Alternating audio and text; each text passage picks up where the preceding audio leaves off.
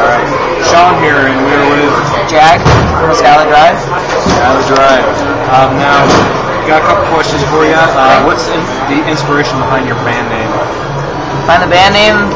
Uh, they came up with it before I joined the band. Uh, pretty sure they're sticking with the story that it was a drunk night and somebody thought it sounded cool.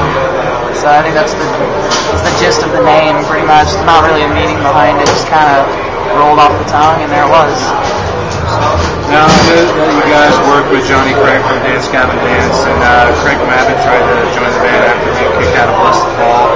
And uh, how was it working with him, and why did you guys decide not to go with Craig?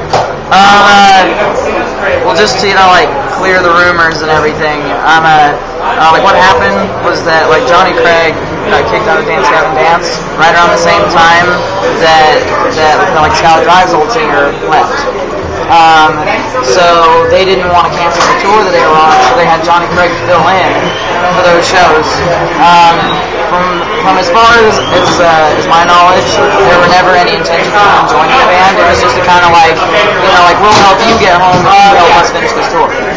And uh, so that's what they did. And then the whole thing behind Craig Mabbitt, uh, I guess he wanted to audition and he was trying to contact our guitarist Joey, but instead contacted the Fates manager Joey. Um, so there were never any solid plans of him coming in.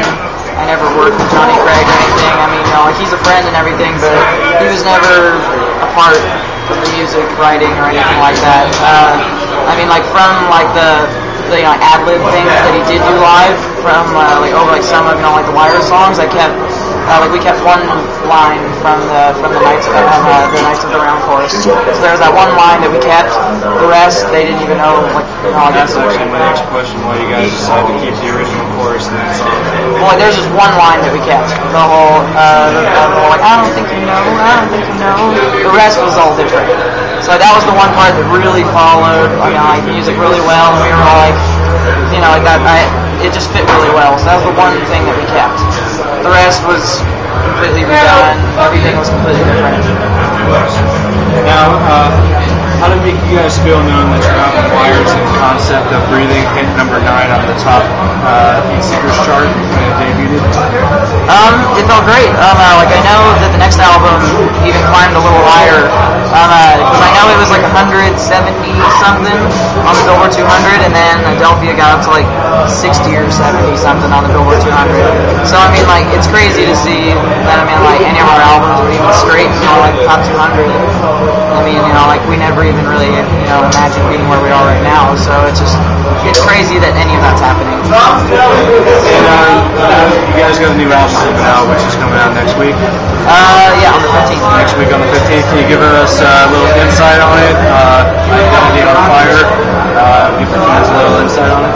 Um, uh, it's definitely just, it's, you know, like energy packed. It's got all of the things that people love from the band, some new things that we've never done before. Uh, we just wanted to make it as energetic and live as possible. I mean, like we want it to be a really live-oriented album, just be really real about it. I mean, all like lyrically too. I mean, like we've always been into like, writing really fantasy-based lyrics and kind of like, you know, kind of like writing a novel a little bit. And we want to just be really real about everything.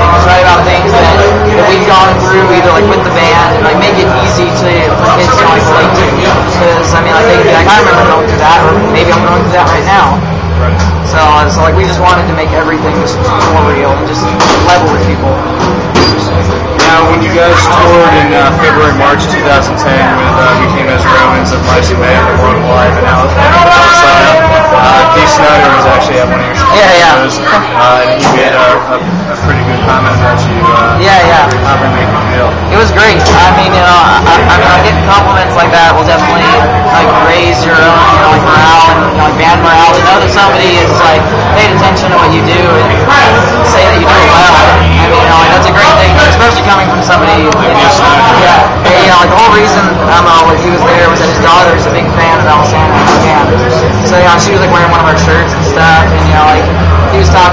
how you know he's making like another movie and wanting on the soundtrack and stuff.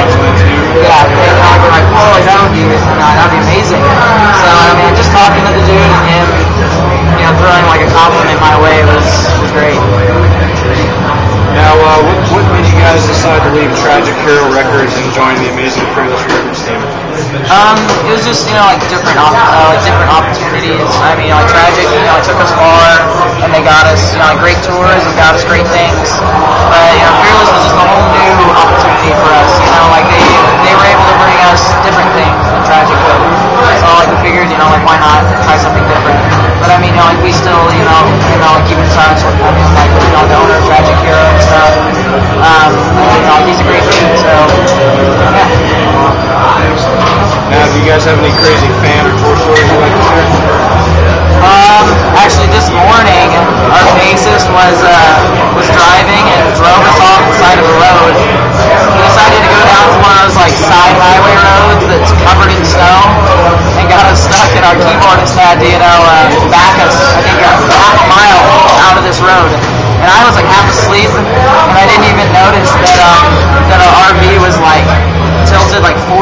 degrees over. Like our merch guy got out. He didn't even feel safe being in there.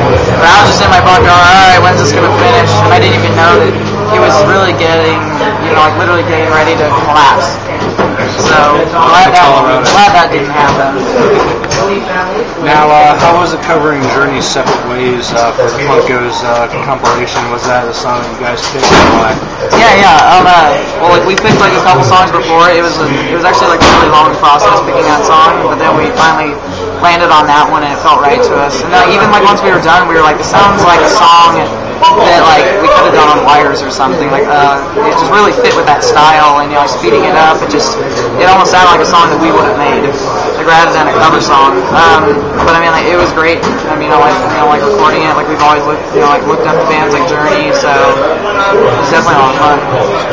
And last but not least, uh, what does the future hold for you guys? We already know that you got a new album coming up. Uh, any other tours, uh, music videos, DVDs? What can you Um, like any other tours this year, we're not really allowed to talk about yet. I mean, like they haven't been announced, but like we know of things coming up.